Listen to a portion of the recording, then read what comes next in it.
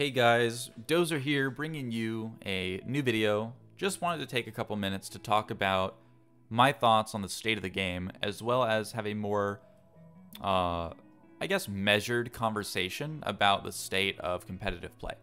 Um, as you all know, I just got done with the National Championship, where I brought Prism, uh, of course, in order to try and compete and have a good time. And when we got there, uh, we were expecting a lot of Briar, but uh, when we were told on day one that 30 something percent of the field was going to be Briar, uh, you know, it, it was not going to bode well for the rest of the weekend. Why do I say that? Well, for one, Prism in my testing versus Briar was already like a really bad matchup. Like it just felt unwinnable. So for me personally, obviously I was disheartened to hear that it was going to be so much Briar especially when I ended up being just by the luck of the draw put against half Briars out of my CC pods or pools. And um, then you go to the finals, and oh, top eight is like five Briars, two Chanes, and Lexi, who's built to counter Briar. And um, even those Chanes are also running Rosetta Thorn because seven of the top eight were running Rosetta Thorn, as was about half the tournament. So I really wanted to talk about kind of how I view the balance in this game as it currently stands, kind of my concerns about the balance of the game, the competitive scene, and um, maybe offer some uh, insight into the mind of a player uh, to give anybody at LSS who might be listening uh, a bit of feedback about the game. So, for some context, I've played TCGs for many years. Um, I've played them at a pretty competitive level for a long time as well. I've been competitive at numerous TCGs, and when I came to Flesh and Blood, I really fell in love with the mechanics because the game felt so well designed. And it still does. I mean, don't get me wrong. Fab is a great game at its core, and I think that as long as LSS is able to maintain the core design principles that they've had thus far, I think that the game has a bright future ahead of it and will not, you know, dig a grave for itself too early by printing and breaking the format and making it distasteful for the majority of players. Um, and what do I mean by that? Well, when I first played against Lightning Briar, uh, it felt really, really dirty, right? Because everything they played was basically zero cost with Go Again in attack for breakpoint whether that was a um, four attack go again, four attack go again, three attack go again with an on hit, which that being lightning, uh, ball lightning, um, as well as just being able to dump your hand every turn while generating free go agains and free um, embodiment of earth tokens that worked on everything. Very quickly, it seemed apparent to me that I would never be able to actually block out a Briar. It was impossible. Um, Rosetta Thorn, for instance, especially is impossible because let me just break this down for a second because you know not everybody might have um, taken a look at um, at that. So if we go and look at the first place Briar list from the uh, Nationals, we take a look at Rosetta Thorn. So Rosetta Thorn costs one to attack with. It deals two damage physical uh, when it attacks, and if you've met the requirement, it deals two arcane um, to whoever you want. Now, why is this a problem? Um, if you look at this card and you think, okay, I need to block this card for whatever the reason is. Well, how are you going to block it? Well, you need to start by blocking the physical damage, which is two. And then from there, you also need to stop the arcane. So if you have to use a card to block Rosetta Thorn, you also have to use another card to block the arcane. At least a yellow, and you'll need at least two arcane barrier in order to block it all because again, Arcane Barrier doesn't, uh, one, does not block um, two damage from the same source. You have to have Arcane Barrier 2 or two sources of Arcane Barrier 1 in order to do that. So, why is this a problem? Well, Rosetta Thorn attacks for only one resource and must be blocked with two cards when its uh, condition is met. And its condition is not hard to meet. Um, playing a single attack action and a single non-attack action card in a turn is ridiculously easy to do. Runeblade has a million good non-attack actions. There are a lot of good generic ones, and there are a lot of great um, cards in Runeblade and in generics that have go again naturally. So it's not difficult at all to meet this requirement. And so you're basically swinging for um, some unblockable damage to your opponent, especially after you've come in for, say, 7 damage on average, um, making this a normal turn, quote unquote, of 11 damage. But if that buff was a plunder run, well, now your opponent's also got an extra card that they could be throwing at you, which could be another 4 attack go again. And very quickly, the damage output of this deck becomes very uh, impossible to deal with, while also getting around your blocks. Because you have to have two cards in hand to stop this, and you have to block at least two cards to stop a 7 attack go again. So even if you manage to block um, with four cards to stop that one attack, one non attack buff, and the Rosetta, if they have anything else in their hand, again, they could have done that. They could paid for Rosetta with their Tunic resource, and they could have two other cards in hand and a card in Arsenal to attack you with. So that's another potential 8 to 12 damage that they're coming at you with, on top of the stuff that you already full block. So that's like a 24 damage turn. Um, that's that's a lot to deal with. All the while, by the way, if they get any damage through, they're making their embodiment tokens, which will buff their block in the next turn, making it even harder for you to threaten their hand and catch up, right? On tempo. So Rosetta Thorn, costing one, you might think, oh, well, you have to meet the requirement, it's only four damage, like maybe that's fine. Let me direct you to another card that um, that sort of fits that same bill. And you might not even know what this card is because really no one played it um, back in the format where it was initially released. So Galaxxi Black is Chane's Shadow Runeblade weapon. It's a token, so this is what you might have had if you ever drafted Monarch. And it also costs one to attack with. And it has one attack. If you've played a card from your banished zone this turn, right, a conditional buff, it gets two physical damage until the end of the turn, going up to three. And if it hits, it deals an arcane. So Galaxxi Black has two conditional upsides where if it hits, it deals an arcane. And if you've played a card from your banish that turn, it gets plus two. However, you can block Galaxxi Black with a single card. If you block this card with a single three block card, which is almost any class card in the game, you also block the arcane that would have come in on the on hit. Compare that to the lovely Rosetta Thorn here, which costs the same, has a higher floor, um, where it can be blocked less easily because it's too physical, just always. And when it comes in, it comes in with two arcane. Doesn't have to hit. It doesn't have to meet any additional requirement. Just oh, just comes in with two arcane, which is really really hard to block.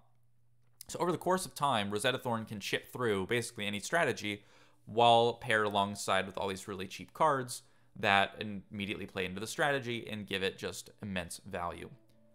So I think Rosetta Thorn is a really big problem. Uh, when you see the amount of Briars that have just been taking over the meta, and the only things that really stand up to it are Chane, which also runs Rosetta Thorn. I'm sure we'll find that here with Pierre's uh, list here. Oh, look at that. We've got Rosetta Thorn. What a surprise. No other weapon. Uh, by the way, again, Runeblade has the most cards in the game. They've had four straight sets of support. And if we look at even uh, Runeblade, we look at um, weapons, Runeblade has five different weapons to choose from. One of which was already banned because of the, uh, let's just say, balancing mistake at LSS.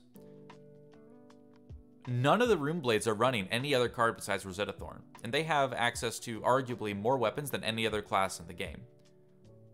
Which should tell you something because now, in all, almost all these are generic too. Nebula Blade, Reaping Blade, Dread Scythe, they're all generic, um, as opposed to Galaxxi Black. And for some reason, again, Rosetta Thorn's not elemental restricted. Um, basically, Rosetta Thorn's too efficient.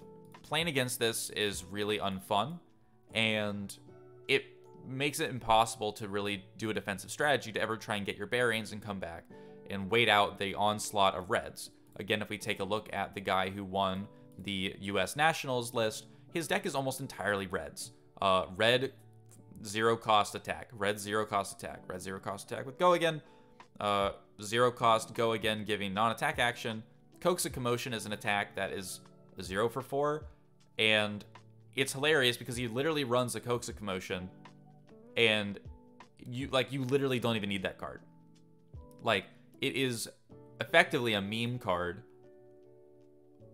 So like, and you can draw a card to just try and keep popping off on your turn with the go again. Like the fact that they can unironically run of Commotion and win a tournament where it's seen zero play forever because it gives your opponent advantages as well as you, like that should be setting off some alarm bells in the balancing department over at LSS's head because he's got zero cost go again, zero cost go again, uh, zero cost for attack that gives go that can be easily given go again, um, up and down the line, and he's only got a couple blues and yellows. Well, what are those blues and yellows? We got a zero cost go again, zero cost go again buff, non-attack.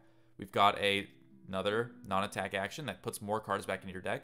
We got zero cost attack go again. And then we've got, of course, Captain's Call, which buffs all of our zero cost cards. Plunder Run, which buffs all of our cards. Sting of Sorcery, which buffs all of our cards. And Time Snap Potion, which is probably just here um, for the meme, honestly, and for Prism, potentially, with Arclight Sentinel. And Gorganian Tome, which is just here as a way to reduce the overall size of the deck and to also set up the lightning token generation. And the fact that that's literally the entire deck, where you just, you know, strap on your helmet, as people have said in other card games, and you just go, go, go, go, go all game, um, never running out of gas. You know, there's really, past the Rosetta Thorn and everything else, you just can't survive long enough to ever mount a comeback when you're facing this much damage every turn. Uh, unless you're playing decks like Bravo, or unless you're playing decks like Ice Lexi, um, or decks that can force your opponent to lose cards out of their hand, or unless you're playing against decks that allow um, you to out aggro the Briar. Like aggro Katsu is probably the highest damage output of any deck in the game. However, um, and I assume this is aggro Katsu. Yeah, Ancestral Empowerment, uh, Hurricane Techniques, you know, he's got some defense reacts in here, but you know, he's got all of these um, Whelming Gust Wave synergies, Whelming Gust Wave. Um, so you're thinking to yourself, okay, well, if even aggro Katsu, straight up racing Briar, struggles because of the embodiment of Earth tokens, how is that going to produce a healthy meta, right? If everybody is bringing Briar, or people are only bringing stuff to try and counter Briar, um, it just becomes very very annoying and very unfun. You know, you get to the tournament, everyone's playing Briar. Even the Briar players are saying, "Oh, this is miserable. It's just Briar mirrors all day. There's it's just who draws the better sequence of cards because no one's blocking." And because blocking doesn't work, right? Like blocking just doesn't work against Briar. Um, attacking and no blocking doesn't work either because she can block with one card if she ever needs to. Um, and I guess what I'm just saying is that I really hope LSS looks at what decks have been dominating uh, the game and realizes that these hyper aggressive slam every generic into the deck cards or decks that can just do four attack go again, four attack go again, do 20 plus damage turns no problem, are really starting to um, kind of get out of control. The fact that we just went from a tier zero format where Chane was the um, best deck and the only way you could really beat him is by hard countering everything he's trying to do and ignoring every other matchup. And even against Briar, you might not even be able to do that unless you play certain specific heroes like Bravo uh, or Ice Lexi, right? Um, and maybe you could have like Dorinthia and Boltyn who punish people for not blocking. You know, Boltyn potentially running the um, Saber combo to just heal a bunch and really pressure Briar. Or maybe you have Dorinthia who can get around Briar's blocks and snowball with the Dawnblade. And even Dash, who's the most equipped character to stall out the Briar because of her innate ability to build up resources over the course of the game by pitching a blue to load up her guns and her buff cards, and then eventually poke down the Briar while blocking out. You know, these strategies exist, but when you see these strategies brought out in force to try and counter Briar, and then Briar is still this dominant, you have to wonder is the meta in a healthy place? So, obviously, I might be a little biased because Briar hard counters Prism, and I have zero ability, no matter what I've tried, to make Prism work into Briar. And I now really feel for all the people that were playing Azalea and Levia and Viserai and Linar back in the day. Because when there's just nothing you can really do, you just have to kind of take that, or even Kano into uh, into Prism. It's a very difficult, nigh unwinnable matchup half the time, and it just feels really bad. Like, why would I go and invest my time into playing competitively when the character I enjoy playing doesn't have any competitive viability at all, right? Um, like maybe sometimes you can sneak your way past enough Briars to get further on in the tournament, like some people may, might have been lucky enough to do. But when you're put up against five Briars out of 10 matches of CC, and you know it's basically an auto loss, you know, it doesn't make you want to keep playing. It doesn't make you want to come back. It doesn't make you want to uh, invest that time and energy and um, in traveling and all these things just to sit down, watch them play 4 4 4 4 4 every turn and just win off of that. Um, meanwhile, you're scrambling to try and mount any offense at all, and they just ignore it, take the damage, and keep attacking you because they just have a more efficient deck. Um, so, as far as the state of the game, I think if Briar was not so dominant, I think we'd have a pretty healthy meta. Um, I think she's crowding out a lot of potential options, and I think that while there has to be a best deck in a card game, um, there doesn't have to be a deck that is so much better than everything else in a game like Flesh and Blood. And I say that because in Flesh and Blood, the core math of the game is brilliantly designed. Truly it is. But when they start going around that core design and start allowing for higher ceiling stuff to happen um, while not making that stuff available to every strategy, um, we're just seeing that time after time that the class that just abuses the generic pool the best, where before Chane abused Art of War, abused E-Strike, abused Plunder Run, now it's Briar's turn to abuse Plunder Run. It's Briar's turn to abuse uh, E-Strike and CNC and all these things. Um, and all these zero cost go again cards um, that don't really require a lot of thought. I mean, you just play it, you don't have to pay for it. You don't have to worry about what you're paying for it. It just works, right? Um, and it gets over almost every block in the game inherently. So you're winning the card for card trade just by playing the card. And there's really not much interesting going on there. So that's kind of where my thoughts are on the state of the game. So what can we do to fix it? I think first things first, LSS has to really consider whether or not they're going to leave Rosetta Thorn uh, accessible for constructed play. Personally, I think Rosetta Thorn needs to be banned in constructed. Obviously, you can have it for limited, you can have it for draft, but the fact that in constructed, every deck that top aided the um, U.S. Nationals of an event of over 450 players, um, except for one, ran this card, and over half, well, basically half the tournament was running this card anyway in no other weapons should tell you that this card is ridiculous. I mean, Rosetta Thorn on its own, again, requiring two cards to block it um, for one resource is just is just disgusting. There's nothing that competes with that, especially when they don't even have to pay for a card to use this when they can just use the Tunic resource.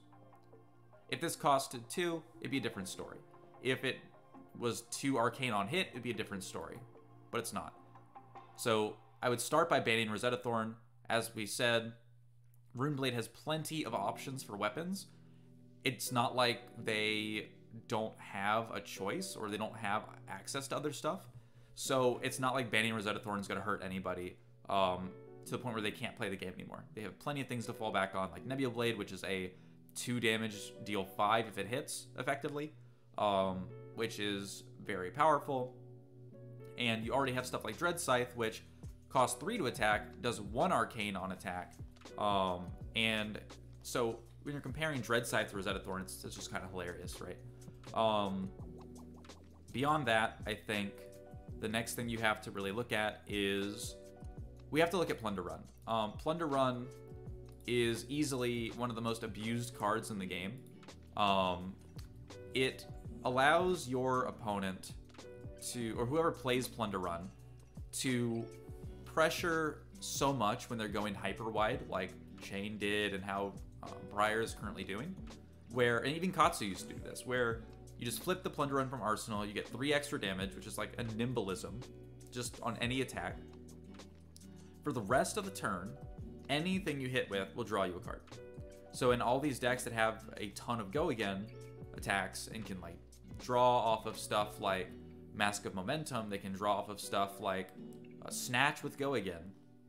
So doing that with Plunder Run just allows you to take way, way, way too long of turns and way too wide of turns for any opponent to realistically deal with. So Plunder Run could just be banned, although I don't think it needs to be. I think if you simply errated Plunder Run to say, um, the next attack action card you play gains, if this hits, draw a card, and kept the um, the Arsenal effect, I think Plunder Run, Plunder Run would be balanced. I think you would have a totally fine card that if you block it, you know, you prevent the crazy beneficial on hit of drawing a card in a game where you're gated by how many cards you get to draw. Um, and it would still give you that attack buff, and it would still do everything that you're trying to do. It just wouldn't let you stack multiple plunder runs. They block the first thing, and then you attack another thing, you draw two cards, and just keep going. Like, that play is really degenerate, and I think it's not healthy for the game at all. And so, if they wanted to not ban Plunder Run, I think they need to errata it. But they could also just ban Plunder Run, and I would be happy. Because, again, every deck that's been abusing the meta has just been abusing Plunder Run, and I think that's an egregious enough reason to get it out of the game. Because clearly it seems to be uh, far more powerful than anything that they could have foreseen, and I think it's just, it does not need to be in the game anymore. Um, beyond that, I think the only other change I would suggest LSS make would be regarding a rules change concerning Ball Lightning. So, as you may or may not know, Ball Lightning is a um, attack action card for Lightning that costs zero attacks for three with go again, and if it hits, it deals an additional one. Um, which means it's a four attack go again, effectively, unless you block it. So this card is actually blockable, which is great. The problem is, the way this card interacts with Arcane is very, very problematic. Uh, and what do I mean by that? Well, we take a look at the card Sting of Sorcery, which was also released in the uh, Tales of Aria set. Every attack action card you play this turn gains, when you attack with this, deal 1 arcane to target hero. Because of the way that Ball Lightning is worded, this means that Ball Lightning is dealing the arcane. And since Ball Lightning is a lightning card, it's going to deal that much damage plus 1. Now, that might sound fine, like, oh, well, you know, if the arcane hits, you get to deal an extra damage. But that's not how it works. Currently, how it works is because the replacement effect stacking rules, the turn player gets to decide in what order replacement effects happen. Because Ball Lightning's effect here is a replacement effect, and because Arcane Barrier, um, if we look at um, Null Rune, for instance, because these are also a replacement effect, your opponent can decide which of these happens first. And that means they can decide to have the Arcane get pumped before you even have a chance to Null Rune it with the Arcane Barrier. This is incredibly problematic because you can play Sting of Sorcery into the Ball Lightning, and there's no way you can stop this damage without pitching for two resources and having Arcane Barrier 2 on your equipment. Somehow. Most characters have to run Null Rune equipment in order to get Arcane Barrier 1, and then if they have to run two Null Runes, they're sacrificing half of their uh, basic equipment in order to potentially stop uh, ball lightning damage when it's coming in. Um, and this could be from a, a ton of different sources too. Compare that also with the fact that ball lightning gives um, this to all the other cards on the chain um, that are lightning and elemental. Um, if you ball lightning and into ball lightning, they both affect the um, the, sec- the the second one that you played. So a card like Sting of Sorcery if you play Sting of Sorcery with Go Again for 0, into Sting of Sorcery for Go Again for 0, into Ball Lightning for 0, it's going to come in with 1 Arcane. turn player decides to have the ball lightning affect the buff first, and then the null rune can happen. So it's coming in for four arcane.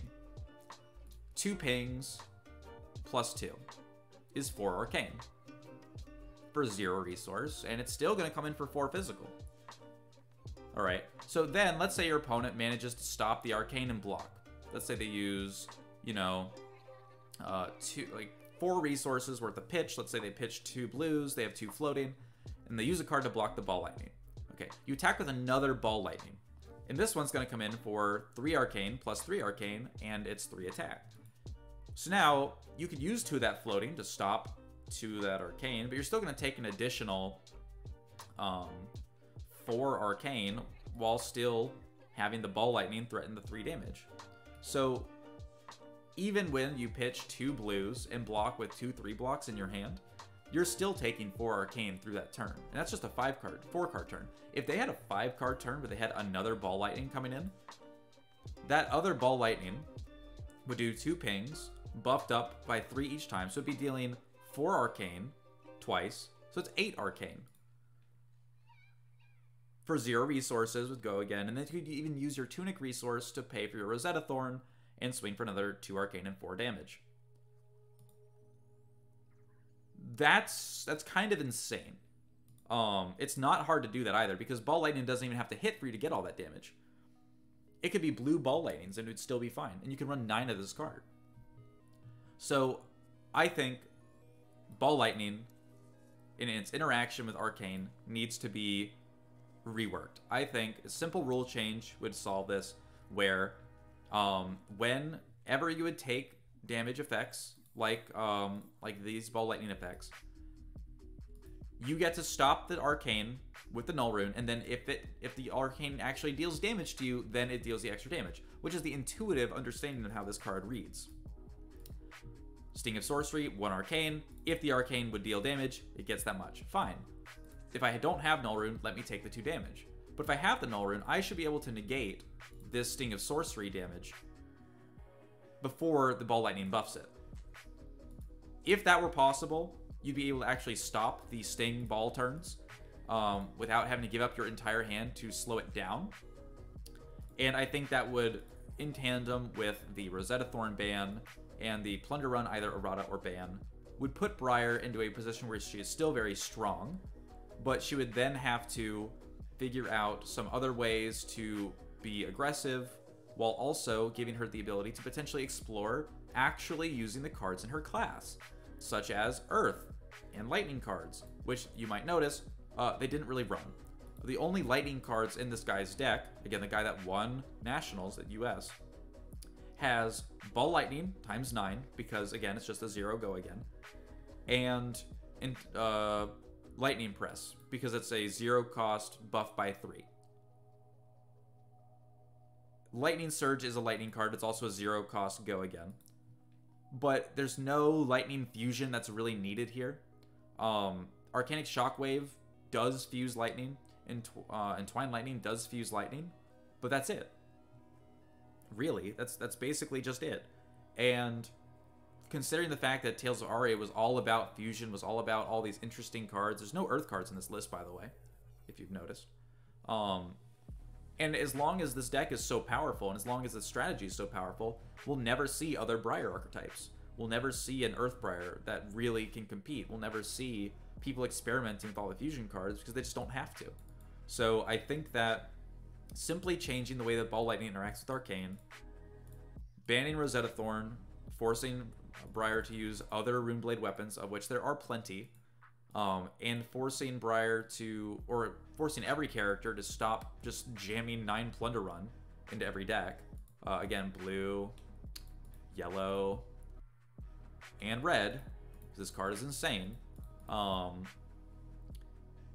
if we were able to errata Plunder Run or ban it, I think Briar would be in a better position to be countered by other decks, and I think the meta would be a lot healthier. And we wouldn't have to ban any legendaries, we wouldn't have to really um, hollow out the core of what makes Briar Briar. Um, so that's my thoughts on that. So anyway, um, that's just my thoughts on the state of the game. That's how that's what I would do to fix the format. you know, feel free to disagree and uh, let me know in the comments uh, if you have um, other ideas of how you would balance the game. I know a lot of people have said how they think that the real problem with Briar is that you can't um, stop the uh, the triggers from her tokens, or that they are really generic.